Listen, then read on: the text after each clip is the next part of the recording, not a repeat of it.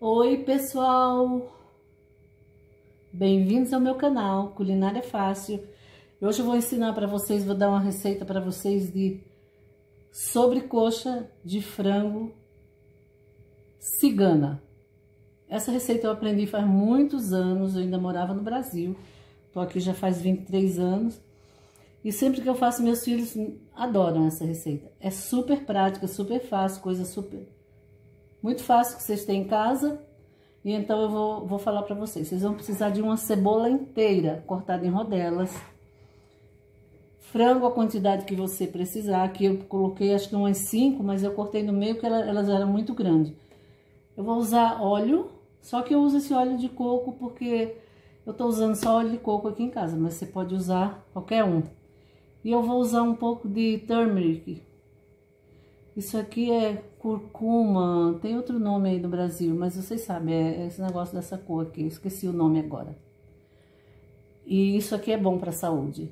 Então, é, além de dar uma cor, é bom para a saúde e eu uso pouco, tá bom? Então, vamos lá. Agora eu vou fritar a cebola, só um momento. Então, agora eu vou colocar o óleo. Eu vou colocar uma colher. Ligar o fogo.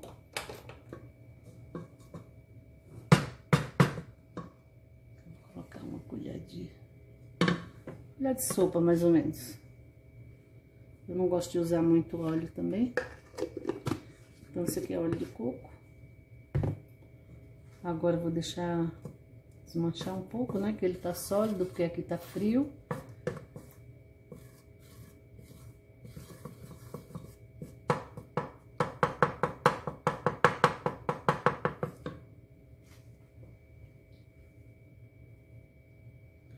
Eu também gosto muito de usar esse, esse tempero aqui que eu que fiz. É alho batido no liquidificador com um pouquinho de sal.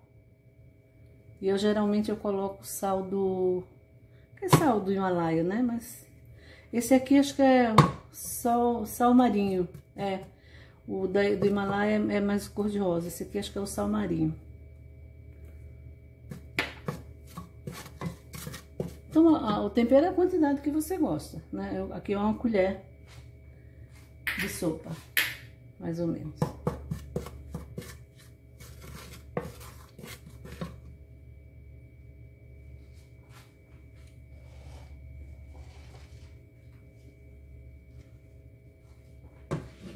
Eu vou colocar também a cebola. Vou deixar ela fritar até ela ficar transparente.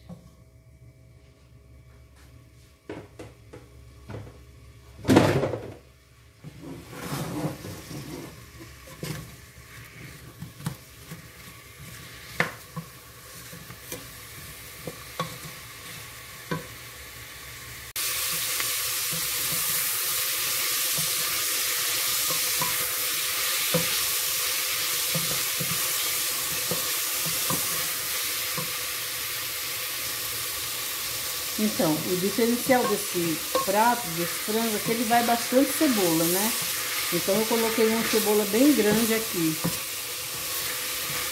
E tô deixando fritar mais, deixa ela ficar mais transparente, às vezes até queima um pouquinho pra caramelar um pouco, fica bem legal. Olha aqui, elas já estão quase transparentes.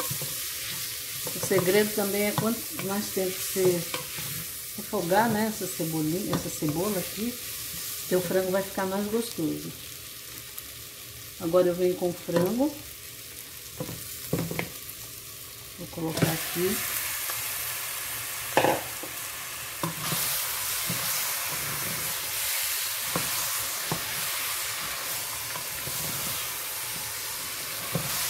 Dou uma mexida boa nele. E a cebola solta um pouco de água, o frango também vai soltar um pouco. Mas você vai ter que pôr um pouco de água. Eu vou colocar duas medidinhas dessa aqui. Meio copo de água, mais ou menos. Se você colocar muito, o teu frango não vai ficar legal. Agora eu vou colocar a páprica, né? Páprica. Ah, agora eu esqueci o nome disso. Será que isso é páprica, né? Caramba, é turmeric.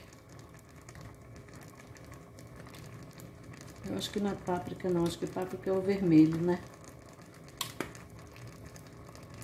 Esse aqui tem outro, tem um nome. Eu vou pôr um pouco. Não vou pôr muito, não.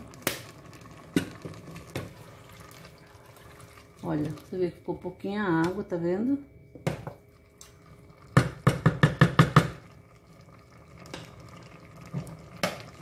Agora eu vou fechar a panela. E daí eu vou deixar... Quando ela começar a pressão, eu vou deixar por mais uns 10 minutinhos, 8 minutos mais ou menos. E aí eu vou abrir para ver, porque como tem pouca água, é bom ficar prestando atenção, né? Para ver se não vai queimar. Então, agora começou a pressão. Então eu vou esperar 8 minutos. Vou abrir a panela depois eu vejo o que, que aconteceu. Faz oito minutos agora eu tirei a panela, deixei um pouquinho aqui do lado. E para acompanhar essa, esse frango, eu não vou comer arroz, eu vou fritar aqui umas batatas doces em rodela. Estou pondo um pouco de manteiga.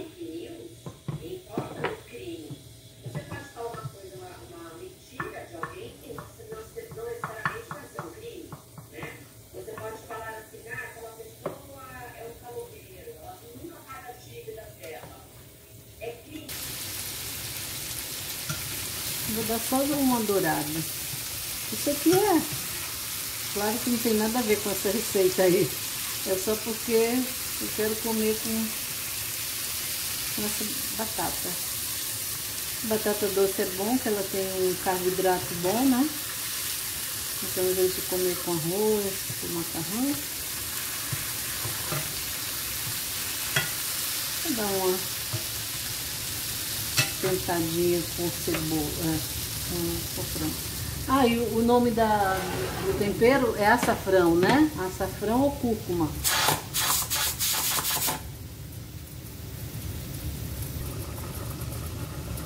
Olha, oito minutos foi muito pouco, tá vendo? Então eu vou deixar mais um pouco lá. E olha como juntou água. Você viu só o pouquinho que eu coloquei juntou bastante água. Vou deixar secar até um pouco aqui. Então, olha, agora sim. Agora ele tá cozido, tá bem macio. Se eu deixar mais, ele vai se desmanchar. Eu deixei mais uns 5 minutos, mais ou menos. Secou um pouco a água, né? Como vocês estão vendo.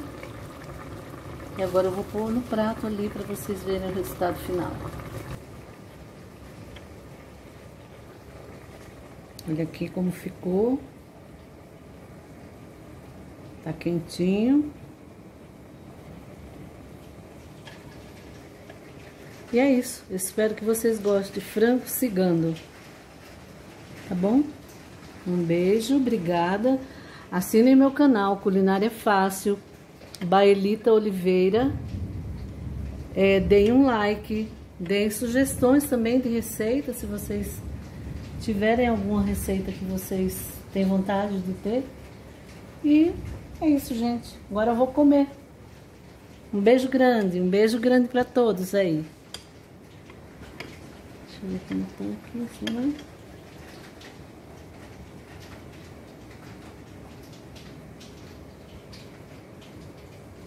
Tchau.